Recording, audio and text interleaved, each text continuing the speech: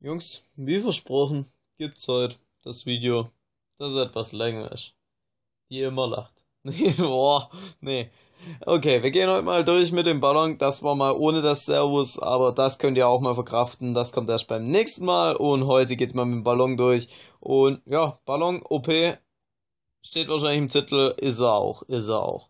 Ich will euch einfach mal zeigen, was der Ballon so kann und erfahren wir uns doch mal kurz die Crown Chest. Ballon mit der Taktik unfassbar geil, unfassbar geil. Oder heftige Taktik oder heftiger Ballon oder was. Ach, Pascal denkt sich irgendwelche Titel aus, das ist doch dem Scheiß egal. Da kannst du machen, was du willst. Aber wie machen, was machen wir denn jetzt gegen den dunkle Prinze? Dunkle Prinze, machen wir Valkyrie? Ne, machen wir. Ja, doch, machen wir Valkyrie, komm. Komm, Valkyrie. Gut, Valkyrie. Valkyrie ist immer gut. Das Wichtige hier bei dieser Taktik ist natürlich, dass ihr lange Zeit nicht zeigt, dass ihr den Ballon habt. Denn der Ballon sollte eigentlich eure Geheimwaffe bleiben, da diese, wenn sie einmal aufgedeckt ist und ihr genau wisst, was der Gegner für Karten hat, unzerstörbar ist. Unzerstörbar ist vielleicht ein bisschen übertrieben, aber der Gegner kann einfach nichts dagegen tun, wenn er keine Lufttruppen oder Bogenschützen oder derartiges hat. Also, seid gefasst und spielt es nicht zu früh. Ich spiele es jetzt mal um, weil ich bestimmt sicher bin, dass es jetzt laufen könnte und sogar noch einen Freeze Ready habe.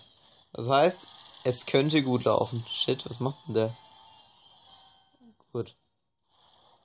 Wir setzen hier erstmal den Froschzauber, damit wir hier ein bisschen Schaden machen. An dem Tower, komm, kriegt er noch einen Hit? Sehr gut, wir haben schon Down. Erster Tower Down Ballon ist so OP. Der Ballon ist sowas von OP. Jeder benutzt den Königsriesen, benutzt auch den Ballon. Der ist einfach zu gut. Der ist einfach zu gut für das Spiel. Der Ballon. haben viele außer Acht gelassen, aber der ist echt brutal. Vor allem, wenn man ihn nicht kontern kann. Man braucht einfach Bogenschützen oder sowas in die Richtung. Wenn man das nicht hat, kann man gleich aufhören.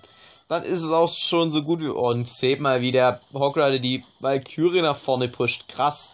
Und wir haben so gut wie gewonnen. Wir freezen hier noch kurz und dann ist das Ding aus. Und easy 3 Sterne. Und sagt mir mal einer in den Kommentaren, dass das eine scheiß Taktik ist. Das will ich sehen. Schreibt es mir rein, wenn ihr das jetzt sagen wollt, dann rufe ich euch an und wir klären das mal.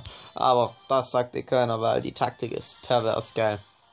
Natürlich kommt es immer, wie bei jeder Taktik, auf das Gegendeck an. Wenn jetzt das Gegendeck genau das Gegenspiel ist von meinem Deck, dann kann es natürlich sein, dass ich null Chance habe, aber ich habe so ein ausgeglichenes Deck, da sollte das nicht vorkommen. Denke ich. Hoffe ich. Meine ich. Was laber ich? Okay. Valkyrie, der Gegner setzt nichts. Warum setzt er nichts? Okay, er kommt mit dem Doppelprinzen. Doppelprinz, Doppelprinz. Meine Taktik wird, glaube ich, sein, die zu freezen. Ja, das war gar nicht mal so gut. gar nicht mal so gut war das. Komm jetzt mit den Barbergen und war eine gute Taktik eigentlich. Pascal, hast gut gemacht. Good job. Irgendwie gefreezed. Er, er spielt das Packer mit zwei Prinzen. Kombinationchen. Das kann man auch mal machen, muss man aber nicht. Kann man, muss man nicht. Ich finde die Taktik jetzt persönlich auch nicht so geil, denn das Ziel ist halt so viele Elixir-Sammler down zu kriegen, aber er hat noch keinen positioniert, vielleicht spielt er auch eine andere Taktik. Kann ich mir aber schwierig vorstellen, denn die Prinzentaktik geht eigentlich nur in Kombination mit dem Packer weil sonst ist die echt schwach, weil man die so leicht abwehren kann. Aber naja, man sieht's ja jetzt, was da so gehen wird. Ich setze noch ein Musketier hinterher und mein Elixiersammler bräuchte noch ein bisschen Elixier. Setzt nichts dagegen. Ah doch, setzt er. Freeze ich lieber die Minion Horde, damit mein Tower das wirklich wegholen kann und hier nicht verreckt. Ja, schwach. Ganz schwach, Pascal. Ganz schwach. Ganz schwach, ganz schwach, ganz schwach, ganz schwach. Ich hatte aber nichts gegen die Minion Horde und die hat mich jetzt ruiniert. Das gibt's natürlich auch. Das hatte er gerade auch mit dem Ballon. Die hat mich gerade. Boah, das hat mich gerade alles gekostet, das mit dem Ballon. Naja, schade drum. Kann man nichts machen. Ballon ist halt so eine Karte, wenn du die nicht verteidigen kannst, ist halt so gut wie vorbei. Aber, ja, ihm ging es ja gerade ähnlich mit seinem ganzen Ding dass er es nicht verteidigen konnte. Oh, oh, oh. ja, Valkyrie hat überlebt. Geil, geil, geil. Valkyrie, du bist meine Heldin. Valkyrie, du bist meine Heldin. Barbärchen hinterher.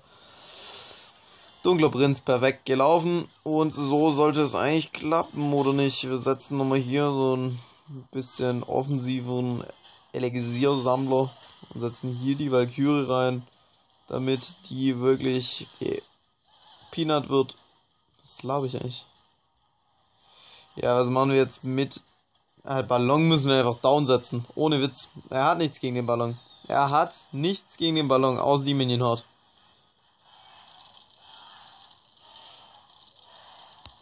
Das ist mir doch gleich ein Schweinereiter hinterher.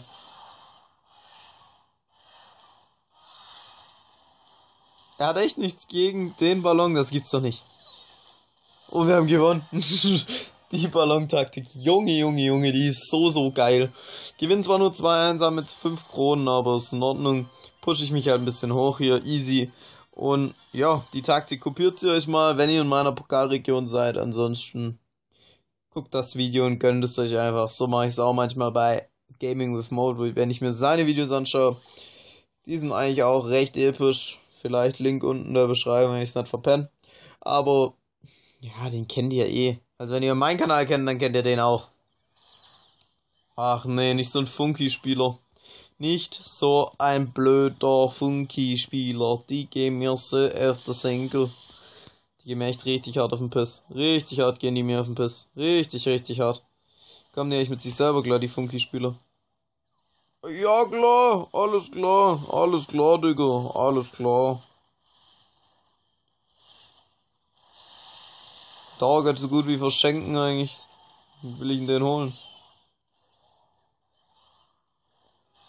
Der Funky ist so wie Schießen gut. Ah, das ist ein Witz, das Deck. Ah ja, der Gegner will mich doch verarschen. Apo Red will der Gegner mich ficken? Nee.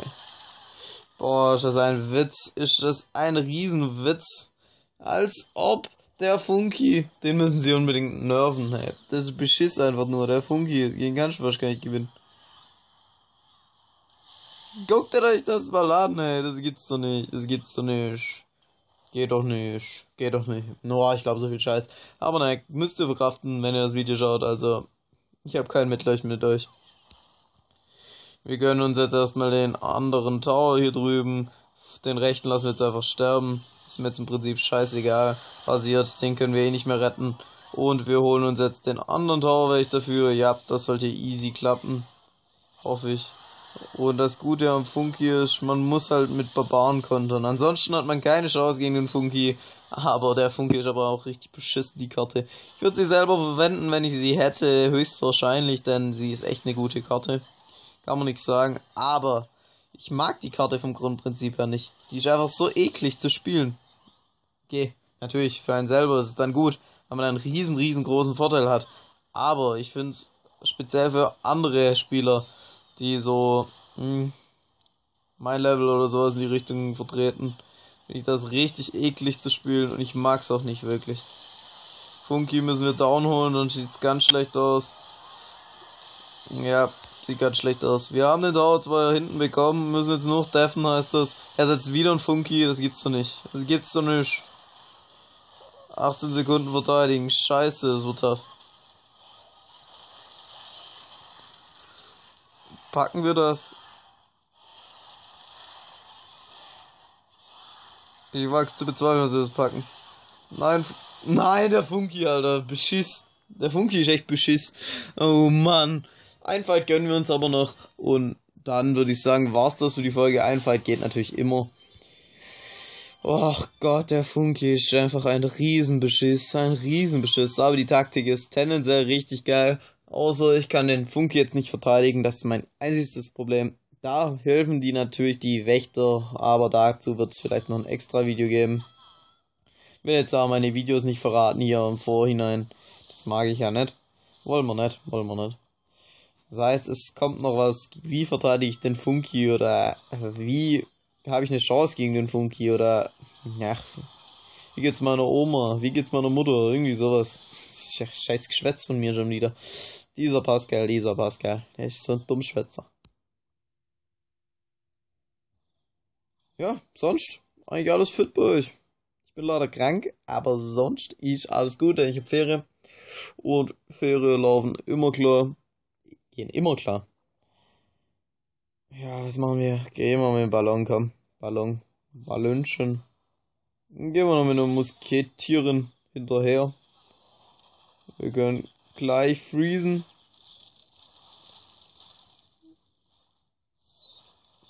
Und die Musketierin oder Musketäterin, wie Lichtlimmer sagt, Grüße gehen raus, die haben wir gerade auf dem Tower gehabt. Ist auf jeden Fall in Ordnung, denn die verteilt echt grandiosen Schaden.